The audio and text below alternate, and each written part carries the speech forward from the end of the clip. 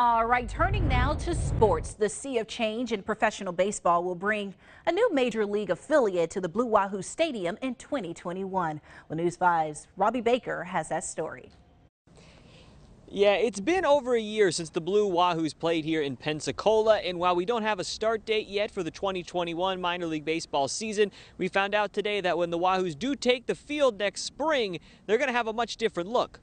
So it's going to be a great partnership for both of us. Um, I tell everybody, I can't wait to go to their winter of caravan and I get to go to Miami instead of Minnesota. The Wahoos are now the AA affiliate of the Miami Marlins. They were originally affiliated with the Cincinnati Reds when the team started. They spent the last season as the AA affiliate of the Minnesota Twins.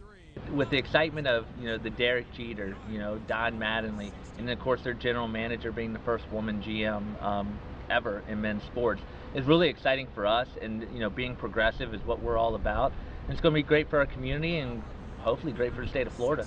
The move comes as Major League Baseball is reorganizing the entire minor league baseball landscape. Some organizations like the Jumbo Shrimp were moved up to AAA, and some organizations were left without an affiliate. When the dust all settles, the future of the Southern League is a little uncertain right now.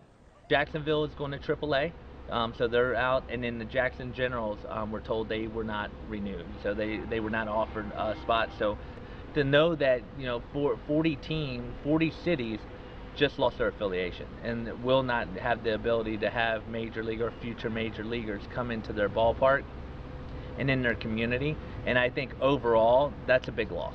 So we're anxiously awaiting news on the 2021 season. Still no start date officially set right now for the Wahoos in minor league baseball. We do know that starting next week over at the Bay Center, the Pensacola Ice Flyers will start their preseason camp as the SPHL season is about to get underway. Coming up Sunday on Sports Overtime, we'll be talking with the Ice Flyers team president to get the latest on the SPHL season that is upcoming. For now in Pensacola, Robbie Baker, News 5 Sports.